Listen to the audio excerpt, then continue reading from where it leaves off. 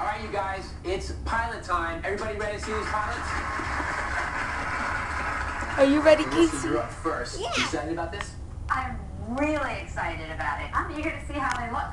All right, here it is. Melissa D'Arabian starring in Kitchen Survival Guide.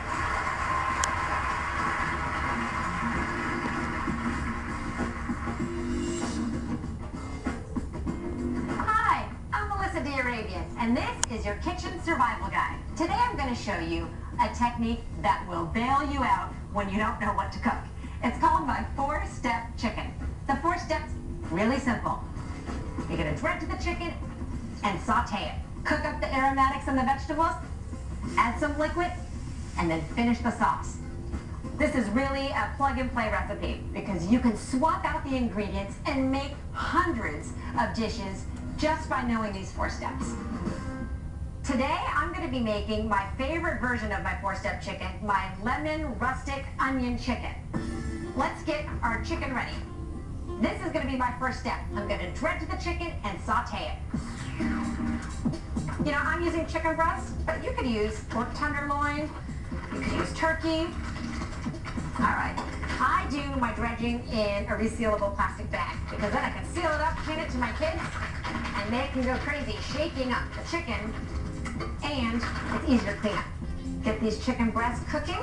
They're only going to need about three or four minutes aside. All right, step two, getting in those aromatics. You want these onions to cook for about five minutes so they get really sweet and flavorful. But if you don't have red onions in your pantry, you can use leeks, green onions, or even just garlic. So the onions look nice and soft and ready. So it's time for step three, which is adding in our liquid. Today I'm going to use chicken broth and the juice of three lemons. Turn the pan on to high and then go ahead and pour in your liquids and be sure to stir up all those caramelized bits of flavor at the bottom of your pan. I invented the four-step chicken back when I had a job that had me working 80 hours a week, and I would not have time to go grocery shopping. So I had to find a way to creatively use all of my pantry ingredients to come up with a delicious dinner. Step four for me is always finishing my sauce with just a little bit of butter. Put a pat in, take the pan off the heat. This is really the finishing touch.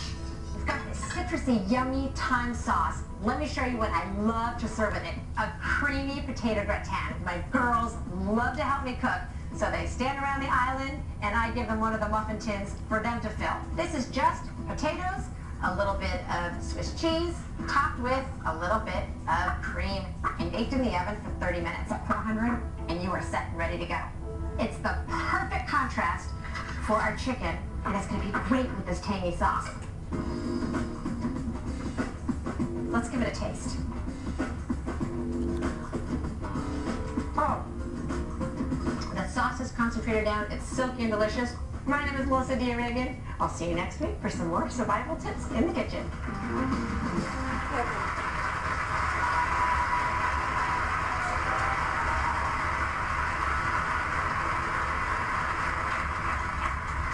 Melissa, I don't think I ever could have predicted that the somewhat flustered, scattered woman who started the competition would have blossomed into that confident, poised, determined star that I just saw filling that screen. It was amazing.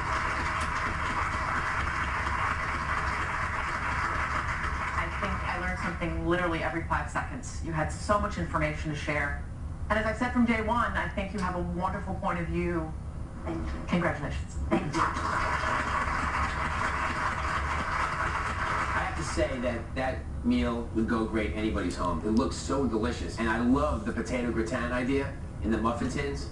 Totally stealing that. That's awesome. okay, coming up, we'll see how Jeffrey's pilot compares to Melissa's. And then one of you will be crowned the next Food Network star. Welcome back, everybody. This is the season finale of the next Food Network star. We are just moments away to find out who that will be. Will it be Melissa D'Arabian or Jeffrey Saad? Okay, Jeffrey, we've seen Melissa's pilot presentation. Very impressive. Now it's your turn. You excited? Very, yeah. You ready to see this? Yeah. No. Here he is, Jeffrey Saad as the ingredient smuggler.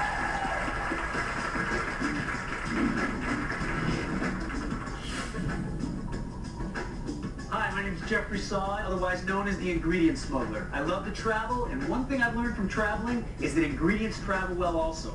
So each week, I like to bring back a new ingredient and make something with it. This week, I smuggled back harissa. What's harissa? It is the condiment of North African cuisine. Today, we're gonna make the steak sandwich with harissa, sun-dried tomato, and mint mayonnaise on grilled bread. It's amazing. First thing you wanna do is get some harissa on the steak. You want to spread it on there evenly? I discovered harissa in Paris. My wife and I were at a restaurant there. We had this amazing lamb stew with this rich red sauce. I was like, what is in this? Turns out it's harissa. We've got a nice crust. That's going on the grill. Now we're going to caramelize onions. So first thing you do is you want to slice them thin. Nice, really thin onion. And you're going to spread those out evenly in the pan. Toss them. And when they're done, they're to look like this.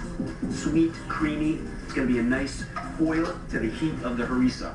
Okay? Next thing is mayonnaise.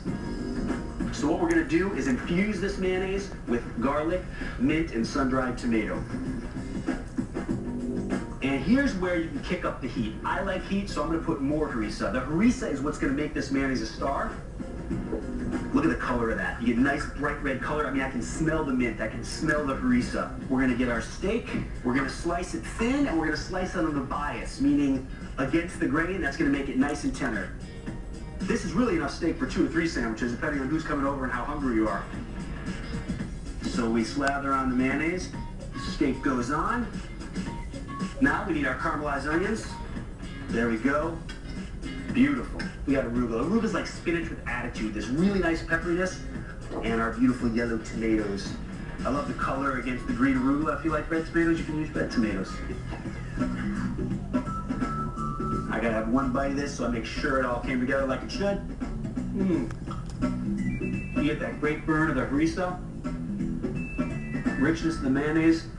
I'm off to another adventure, but I'm going to be smuggling back another ingredient for you next week. Until then, be well, eat well. Thank you.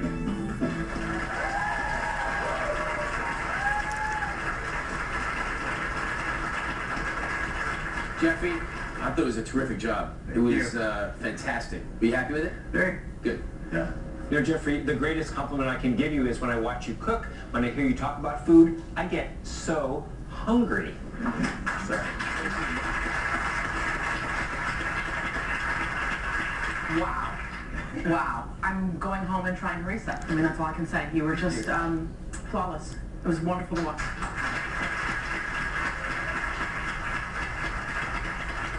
Okay, Melissa and Jeffrey, now it's time for Bob and Susie and I to decide who will be the next Food Network star.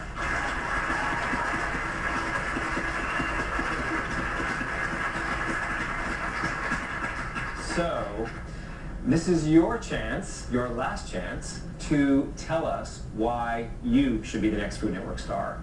Melissa, do you want to start? I may be the risk candidate. You know, I've certainly been the dark horse, I think, from the beginning. But I think I have the point of view that only I can deliver. You know, they talk about comedy writing. If you're a good comedy writer, nobody can steal your material. Nobody can steal my material. Nobody wants to steal. so, you know, we're safe. But I just would like to throw out there that if you want us both to win, that would be my very favorite choice.